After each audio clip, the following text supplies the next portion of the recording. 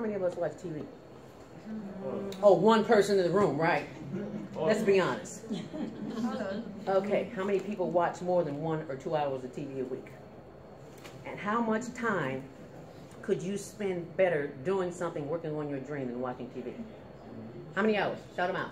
Mm. Eight. Four, five, six, seven, eight, nine, ten minutes. Well, when you turn the TV off, these are some things that you might experience. We've designed a program how to help you understand how the mind works. Does anybody here know how the mind works? In a very mysterious way. In a very mysterious way. The brain function, yeah, neurons and all that stuff is going off, and all that's because of what's been planted. Yeah, yeah, yeah, it's, it's there. We understand how to replace thought patterns. Negativity, we're born into it. It was here when we got here. We can't change it, but we can alter the way that we process, right? A stressed mind is a wandering mind, is it not? And a wandering mind is an unhappy mind. Who wants to be unhappy? Somebody say, not me. We don't want to be unhappy. So we've developed a program for strategic thinking. We have tools and techniques and practices and affirmations on how to overcome negative thinking.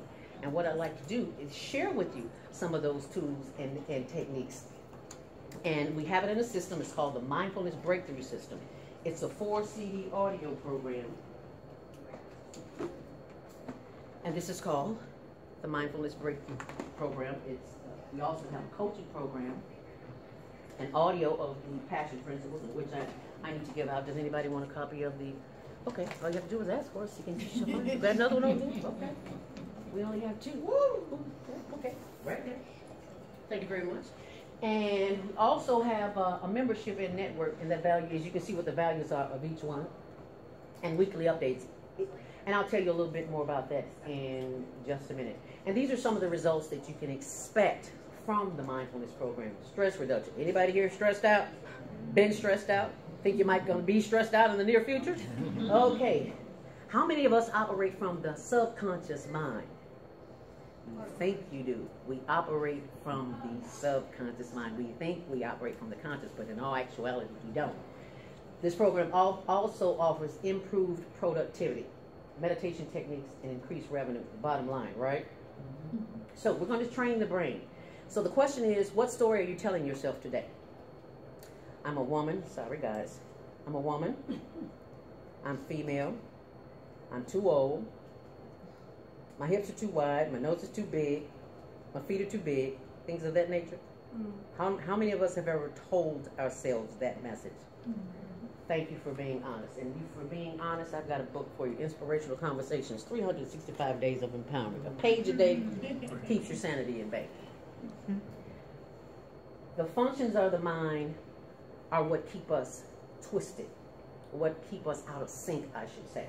And we've got some tools and techniques. So what I'd like for you to do is we're going to practice the first technique. It's called stop. Everybody say stop. Stop. S stands for stop. What we want to do is curb the urge for you to purge. What do I mean by that? What do I mean by that? Curb the urge to purge. Let it out in a negative manner. Because we sometimes we hold it in for so long and then when it comes out, it comes out on the wrong person or in the mm-hmm. wrong way. So we want to learn how to control that. How to control the situation and go with the flow. Make it all easy and flow, right? Mm. Chill. The second one is breathe. Everybody take a deep breath. Mm, that's what it feels like. That's what breathing. Most of us don't breathe properly. We think we do, but we don't. Monitor your breathing as the days go by because chances are you're breathing very shallow. Chances are you, when you're in a situation that you feel attacked, you will begin to breathe very um, rapid. You even may have shallow breathing. Some people are just the opposite, and you might feel nervous. So, what's the second one? Number two? Breathe. Let's do it again. Let's inhale. Doesn't it feel so good? Number three, observe. Observe the thoughts that are going on in your mind as you breathe. Because thoughts can be like little leaves floating down a river.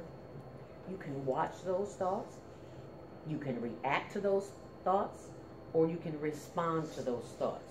How you do that is entirely up to you. those thoughts may cause you pain. How many of us have had experiences where our thinking has caused us pain?